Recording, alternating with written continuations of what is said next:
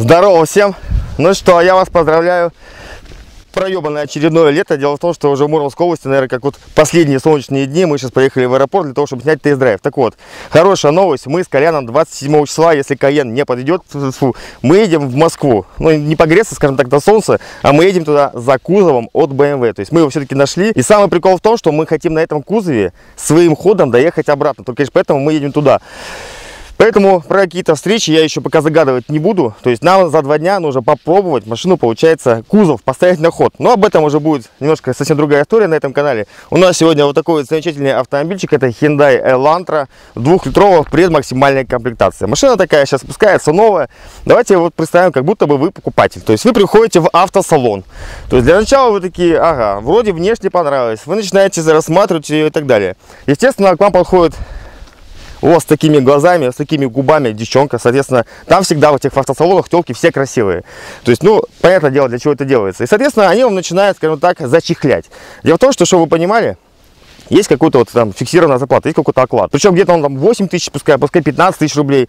То есть все остальное, то, что зарабатывают менеджеры по продажам, это просто-напросто процент от продаж. Соответственно, если бы, допустим, у менеджеров, которые вам предлагали такие красивые автомобили, была бы какая-то зарплата в 50 тысяч рублей, просто постоянная, без разницы, сколько она продала, допустим, или продал э, машин, то, соответственно, вам бы никто бы не зачехлял, понимаете, а они красивым языком рассказывают. Дело в том, что я, как бы, получается, автоблогер, и я часто посещаю автосалоны, где, соответственно, я все это просто прекрасно наблюдаю. Так вот, вы должны сами, понимаете, подойти и посмотреть. Это, знаете, как вот, допустим, часы, да? Вот часы можно купить как подарок. То есть не обязательно примерять телефон, куху, там не обязательно прикладывать в магазине, чтобы примерить, красиво он тебе идет или нет.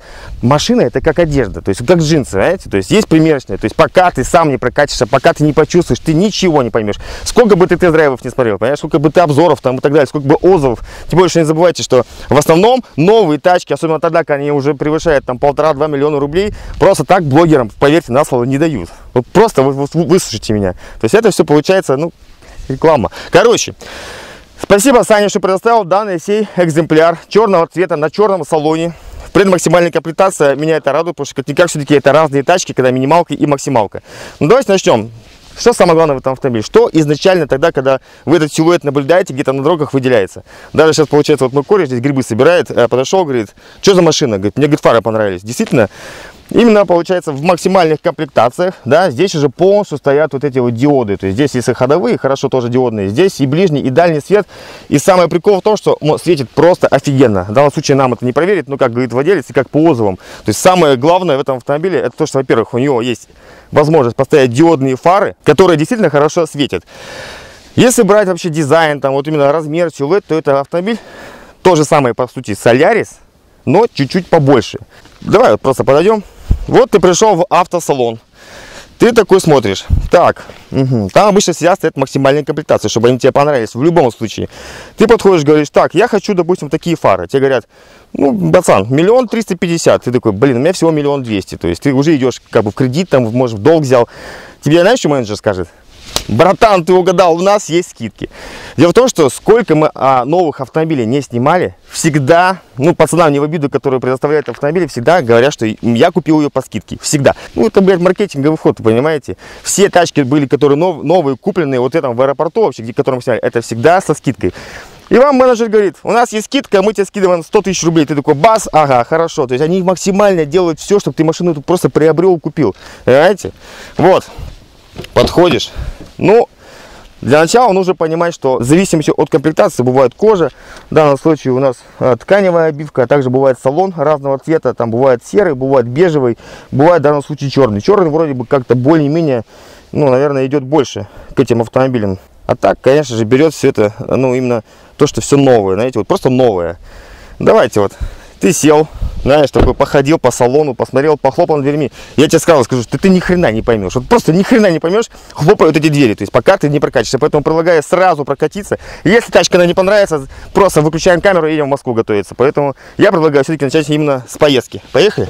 Кстати, если вы планируете приобрести действительно новый автомобиль, ну просто желание есть такое, то, соответственно, вам выгоднее и удобнее это сделать на автоспот.ру. Сейчас я все расскажу, ссылка будет в описании. Ведь именно на автоспот собраны все предложения по новым автомобилям в наличии по реальным ценам. Со всеми скидками, что есть у официальных дилеров И, кстати, вы можете посмотреть, при каких условиях эти скидки получаете. Для этого нажимаем на кнопку «Сниженная цена» и видим, какая скидка нас ждет. Если покупка за наличные, трейдин или даже в кредит. Ну а если у вас уже есть автомобиль, то, соответственно, сайт Автоспот вам также пригодится. Как раз таки для того, чтобы найти лучшие цены и скидки на плановое техобслуживание вашего автомобиля и записаться в удобный для вас автосервис онлайн. Для этого переходим в раздел Запись на сервис. Нажимаем «Узнать свою скидку». Далее выбираем марку, модель, модификацию, какое ТО планируется и видим карту и цены на обслуживание у того или иного дилера. Сравниваем цены, скидки и записываемся. На сайте предоставлены предложения только от официальных сервисов, поэтому вы не потеряете гарантию на авто. В данный момент запись онлайн доступна только для Москвы и Санкт-Петербурга. Ссылка будет в описании. Шестиступенчатый автомат, как говорится, сел-поехал. Ну давайте, у нас маленький пробег. А, сколько? Ну, смотрите, прикольно. 4 девятки, то есть практически через, через километр будет 10 тысяч. То есть практически машина только обкатку прошла. Ну давайте, вот ты сел. С тобой опять же ты не забывай садиться менеджер. Пускай это будет девчонка или это будет э, молодой человек, который, опять же, контролирует весь твой процесс, который во время езды рассказывает, какие здесь опции, какие здесь магнитол, там, CarPlay здесь есть, так кто-то, Самое прикольное в этом. Надо сначала прокатиться. Давай. Двухлитровый мотор, 150 лошадиных сил. У нас есть здесь драйв мода. Давай сразу поставим спорт. Есть эко, нормал, спорт. Давай. Ну давай газ пол, вот сотка. Поехали, поехали, поехали. Ну, 120, газ сбрасываю. Кстати, мы сейчас едем по бетонке. По бетонке, в принципе, нормальная шумоизоляция. То есть я думал, будет гораздо хуже. Да, шумка в этом автомобиле есть. Причем здесь ее не дорабатывали, ее не делали. В принципе, машина нормально управляется, но я так думаю, что все-таки вот эта скорость 100-120 это максимальная, которая будет вам действительно комфортно. Дело в том, что здесь находится балка задней подвески. То есть от этого никуда не уйти. Все равно, хоть это и не Солярис, да, это Элантра, все равно, пацаны, это бюджетный класс. Как ни крути. Поворотнички в одно касание. На удивление, знаете, что больше всего нравится в этом автомобиле, допустим, как сам владелец говорит, что я, говорит, все, пересел а, со старенькой Mazda троечки. Все. Я забыл про какой-то сервис, про какие-то гаражи. То есть, действительно, когда машина новая, то есть, ну, никуда не уйти это. Вот она самое главное, понимаете, именно новизна. Тогда, когда ты покупаешь машину, и какое бы хорошее состояние не было десятилетнего автомобиля, все равно где-то там тормоза хуже начинают работать, где-то насос ГУРа там хуже работать начинает, где-то еще какие-то нюансы начинают вылезать, где-то какой-то скрип появляется. И, и даже идеальное состояние автомобиля десятилетнего все равно он не сопоставим вот именно с новым таким вот автомобильчиком. И самое прикол, что с технологий-то они идут постоянно, понимаете? Они не стоят на месте. Хорошо тормозит, в принципе, ну, на маленьких скоростях. И получается, что если вы берете, допустим, в максимальной комплектации на независимой подвеске какую-то там Мазду, там шестерку, Лансер 10, там в 2000-х годов, то, соответственно, ты должен понимать, что вот эта машина на сегодняшний день даже на балке будет лучше управляться. Представляете, какие чудеса? То есть все равно где-то что-то там делают, настраивают. Ну, проблем именно с каким-то набором, с каким-то лишним звуком мотора сыпящего риса, да, Здесь я не слышу. То есть, в принципе, обычный нормальный автомобиль за эти деньги. Ну, по идее бы. А так, конечно, пацаны, давайте походим по внешности посмотрим. Я думаю, что здесь есть что посмотреть. Хорошо, фары, внешность разобрали. Сейчас посмотрим сзади. Так получается, что от комплектации действительно очень много зависит. Диоды, там не диоды, галоген и так далее. Вот смотрите, вы открываете дверь. Во-первых, что здесь наблюдается? Ну, пускай, да, жесткий пластик здесь. Пускай у нас единственный автоматический стеклоподъемник, который только водительский. Здесь но ну, просто надо тупо держать. Далее, вот такие вот концевички. Но на немцах даже в самом бюджетном классе такое недопустимо. Их просто нету. То есть там просто в ручках уже все это дело установлено. А так просто вот, ну, по сути, обычные материалы. То есть до этого не докопаться лишней какой-то шумоизоляции, там, бархата. Здесь вы тоже не увидите. Ну, среднее закрытие дверей. Смотрите, какая задняя здоровая а, дверь. Блядь. Что? Осай, вон летает. По поводу задней двери, смотрите, какая она здоровая. То есть именно сам вот этот, сама длина открывается. Ну давайте сразу, что ходить вокруг да около. Присадим, присядем, так сказать. В данном случае у нас есть обогрев задних сидений. Вот такие вот, получается, выштамповочки под колонки. Но, как таковой музыки здесь интересно не увидите. Здесь пластик, плафон для освещения задних, задних пассажиров. Ну и, в принципе, как бы, наверное, все. То есть здесь как бы особо не разгуляешь. А посмотрите вот именно вот в это стекло. Видите, какая высота? То есть это реально амбразура. То есть вот такое стекло, вот оно. То есть практически рука. То есть достаточно интересно. Если закрыть... На самом деле, когда сидишь внутри, такое ощущение, что ты сидишь в каком-то прям болиде. То есть, действительно, знаете, как вот Kia вообще любит такие вещи делать и Hyundai. То есть, на том же самом спорте же такая же ситуация. Как машинка выглядит сзади? Понятное дело, что она гораздо симпатичнее, чем то же самое Solaris. Здесь как-то сделано в стиле, я не знаю, BMW. Но меня, знаете, что смущает? Не вот это все, не шильдики и так далее, а именно смущает сами комплектации. Потому что, смотрите, в зависимости от того, сколько вы заплатили денег за машину, даже до этого дошли, что ты не можешь тупо открыть багажник. То есть тут нету кнопки. То есть в максималке здесь кнопка. То есть ты можешь открыть багажник. Здесь открывается или снутри, или получается с ключа. То есть ну такая вот особенность. 2 литра в нашем случае. Камера заднего вида. Ну и, наверное, пацаны, все. По поводу материала, в принципе, сделано... Да не, ни хрена картонно все, все равно все. Все картонно. Вот таким вот... Ой, клипсы. Все вот таким вот образом, все мягенько. То есть здесь как бы какие-то изощрения, пацаны, ну искать вам не, не придется. Все сделано на виду, то есть вот торсиону на багажник, да, тросик для открывания заднего ряда сидений. То есть, конечно, это все хорошо. Багажник, в принципе, обычный, то есть, но реально ни туда, ни сюда, то есть он, в принципе, средний. А так, начинаешь ходить вокруг да около, и если ты берешь новый автомобиль, то там можно выбрать, допустим, диски, да, по-моему, там есть три варианта различных Три варианта по дизайну диска, да, покажем, что они сейчас в данном случае у нас на, на 16. То есть, ну, в принципе, нормально, то есть уже не на 15, уже хорошо. Вот так это все дело выглядит. В принципе, так если разобраться, достаточно интересный автомобиль в том плане, что, опять же, он тупо новый. Ну, давай. Кстати, вот, вот где открывается у нас, получается, а, багажник. Вот где открывается у нас бензобак. Здесь электрических регулировок у нас никаких нету. Опять же, в максималке есть даже память сидений. Не то чтобы кожа, да, электрические регулировки, но еще и память, представляете, засунули в элантру. А так, давайте посмотрим, что у нас под капотом. Вот смотрите, давайте начнем вот с этого единственного нюанса, который я обнаружил. То есть вот капот. Ну, чтобы вы думали, что он, он закрыт. Смотрите. Закрыли капот. То есть нажимаешь, замок просто не отрегулирован. Я думаю, что это можно как-то излечить. Вот закрываешь дверь, и капот постоянно гуляет. Ну ладно, может быть это не страшно, это все делается. Но нюанс как бы таковой есть. Кстати, двери очень приятно закрываются. Такое ощущение, что они дополнительно зашумоизолированы. Указочка, уже даже говорить об этом нефиг, уже к этому делу все привыкли. DOX 16V, двухлитровый мотор, 150 лошадиных сил, также все остается 1.6. По сути, в принципе, это нормальные моторы, которые более-менее ездят, которые вроде бы более-менее как-то доработали, то есть к ним претензий как таковых нет. Мне больше всего нравится, знаете что? То, что здесь все ремонтопригодно. Я понимаю, что ближайшие, может быть, там 5-4 года здесь, ну, ну что такое-то, блин?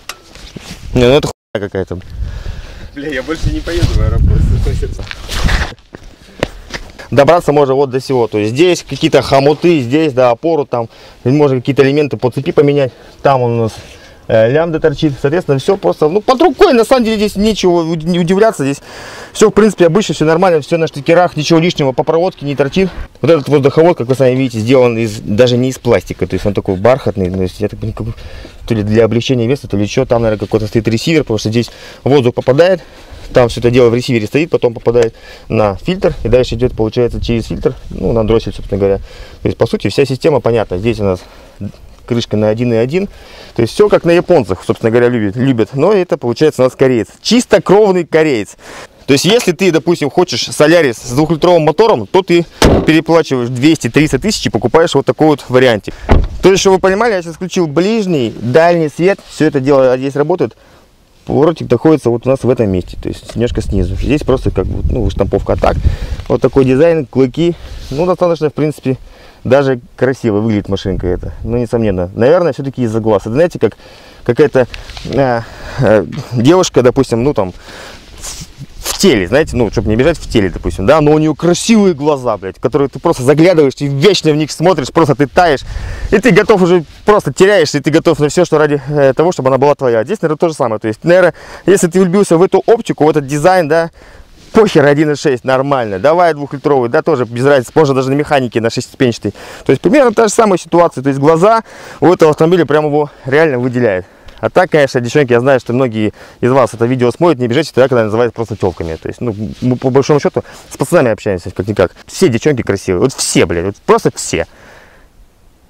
Ну, или, как говорится, много водки не бывает, да, не бывает некрасивых женщин. Ну, блядь, шутка, конечно. Короче, реально выделяет, вот именно для меня этот автомобиль именно вот этими глазами. То есть все, то есть по салону, по мотору, по разгону, по какой-то коробке, там эко-режим, да все это фигня. Просто-просто интересный, свеженький дизайн на сегодняшний день. Если это максималки, то еще лучше. То есть даже сзади, получается, будут диоды. Причем сзади будут диоды, но только вот в этих в красных фонарях поворотник все равно останется обычная лампочка накаливания. Хорошо это или плохо, но тем не менее, пацаны, это все дело присутствует. Есть дизайн, есть дизайн. Чего? Какой 91 87 Открывать медленно, закрывать плотно. В принципе, сам дизайн руля, да, здесь есть типа под спорт, да, такая вот полосочка, только она внизу, а не наверху. Ну, в принципе, нормально. То есть много клавиш, мультируль, здесь все это дело присутствует. Здесь тоже, в принципе, все понятно. Здесь нормально. Кондиционер. Зарядка для телефона, кстати, ну, на самом деле, очень удобная вещь. Просто положил, все, зарядка пошла. То есть не нужны какие-то провода и так далее. Есть USB, AUX, собственно говоря, розеточка. Вот у нас обогрев сидений. То есть здесь все это тоже, в принципе, ну, по дизайну нормально сделано. То есть, есть не докопаться. По поводу музыки. Музыки, собственно, собственно говоря, здесь нету. Но прикол в том, что, смотрите, здесь на двери, если видно, вот, да, сама колонка, ну, видно, что она вот такая колонка. А здесь такая вот, знаете, вот выштамповка. Такое ощущение, что здесь что-то просится, знаете, какой-то JBL и так далее. В данном случае здесь у нас ну, обычная магнитола. Если брать, допустим, приборную панель, куда вы будете основное время заглядывать при езде, то, соответственно, посмотрите сюда, пацаны. Я надеюсь, это видно. Это просто черно-белый. То есть не желтый, там, не оранжевый, как в BMW старых, да. Здесь реально, ну, на самом деле, очень и очень просто скучно. Э, вот это, хоть и сделано, да, как же, ЖК-дисплей, но очень скучно в том плане, что это просто черно-белое. Здесь а, в стиле карбон внутренние ставки. И дальше, смотрите, вот это, пацаны, тоже сток. То есть это сделано под карбон. Вот так все это дело пошло. Пошло здесь карбон, здесь ставки под карбон. То есть не знаю, насколько это все дело нужно. Но, по сути, это с завода все есть. То есть я думаю, что хотя бы будет меньше где-то каким-то образом портираться. Или, может быть, пыль меньше будет оседать. А так, в принципе, если брать нашу комплектацию, ну вот просто, знаете, на одного человека, где вот просто один раз отрегулировал, как тебе надо, в принципе, забыл. То есть то, что есть механические регулировки сиденья, руля, это, в принципе, все такое, знаете, тогда, когда есть электрические, да, все эти регулировки, это, конечно же, все круто, это все, конечно же, хорошо, пацаны, да, память сидений, но, по сути, я вот езжу на различных автомобилях и скажу, что многие функции эти просто не нужны, они бесполезны. В данном случае нету люка, у нас есть такой замечательный очечник, ну и, собственно говоря, все. Здесь зеркальце включается и выключается вот таким вот образом. Драйв, мануал, моды, эко. Ну, вроде как Саня говорит, что немножко овощная машинка становится. В данном случае, ну, пускай будет просто спорт, да. Э, расход топлива 8,8. То есть, в принципе, хороший расход топлива. Честно признаюсь, что, наверное, машина, опять же, это не совсем для трассы, хотя на трассе и копейки ездит, это все понятно. Это самая комфортная машина, наверное, для города. То есть, если, допустим, брать какую-то Kia Rio, там Polo, да, Шкода, та же самая Rapid, то она просто чуть меньше, а в принципе все то же самое, то есть просто размер отличается и все. И то вот на столечко максимум, то есть, ну сколько? Ну, ну 2 сантиметра стало больше места между, допустим, передними пассажирами. То есть, по сути, как бы особо эта машина не меняется, что и Лантра. То есть, получается, ты в каждый класс, чтобы зайти, должен переплатить примерно 300-400 тысяч рублей. И ты забегаешь далеко в другой класс. Также Саня сравнивал с Toyota, а, получается, э, Corolla, ну, соответственно, она на вариаторе, и она немножко, как бы, наверное, даже подороже стоит, и она в такой же по цене будет в меньшей гораздо комплектации. Четко работает автомат, претензий никаких нет к мотору, по шумоизоляции, в принципе, все обычно, тоже никаких претензий нету. То есть здесь не докопаться, тормоза, все работает. Но, опять же, чисто из-за того, что все это просто-напросто новое, понимаете? Ну, не газ пол до, до 4,5 накручу.